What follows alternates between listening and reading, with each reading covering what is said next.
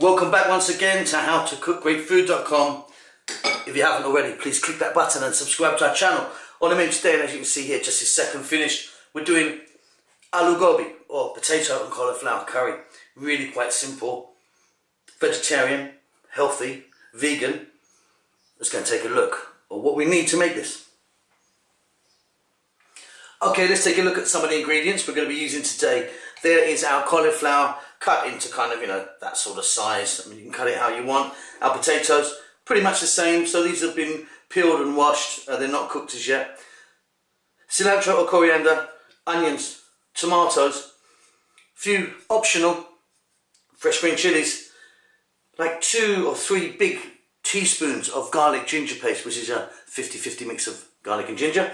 In here I've got some black mustard seeds. That's going to be my whole garam masala today. And in there, which is very unusual for me, I'm using the curry powder. So, but that is a mixture of four parts, which is cumin, coriander, turmeric and chili. Um, there's several videos. I'll put a couple of links up on how to make your own curry powder. That's about it. We're going to start this off with some oil. Let's get moving. Okay, so I've got some oil in a pan here. I'm using a sunflower oil, you could be using anything you wanted.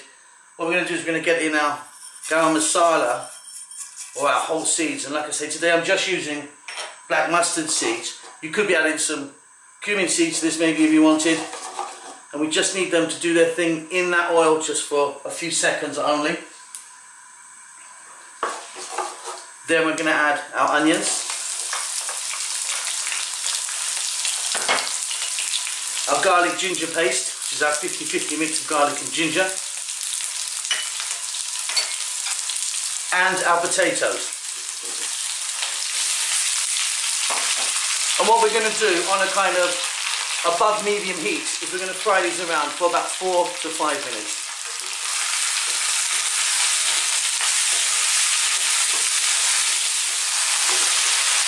Okay, so that's about four minutes or so. These potatoes are still very, very hard. Next step is we're going to add in our fresh tomatoes. Try and use a nice juicy, ripe tomato. We're going to add in our optional fresh green chili. I like to put mine in whole, you can take it out easily or chop it if you want. Then we're going to go for our curry powder or you know our individual spices, however you want to do it. We're going to get some salt in the mix. Going to give this a little mix now.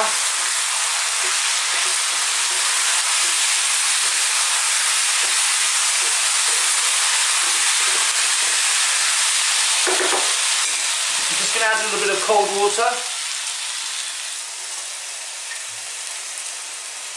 Going to put the temperature on high. I'm going to get a lid on that and I'm going to let that go for about another five to six minutes. What should happen is our tomatoes will break down and we're going to start to get a beautiful masala.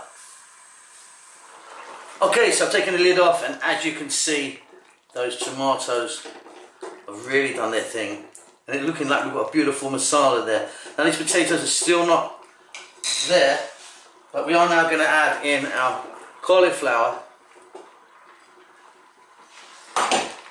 And again, I'm going to give this a little mix. And I'm going to get the lid back on. And probably for this size cauliflower and the potatoes now, probably going to need about another five to six minutes on a kind of medium heat now. So give it a mix, lid goes on, see you in about five or six. Okay, there we go. So our potatoes are really nicely cooked. Our cauliflower is ready. I'm really happy with that. Check that for salt. You might want to add a bit more salt, but I'm good. Now I'm just going to add a little pinch or two of garam masala powder. We'll grab some fresh cilantro or fresh coriander, as we call it. Off goes the heat. We're going to give that a mix and this little baby's done. Really quite simple, absolutely delicious. Like I say, vegetarian, healthy, and vegan. Hope you enjoy that. Don't forget to subscribe to our channel, and we'll see you soon. Lots of love.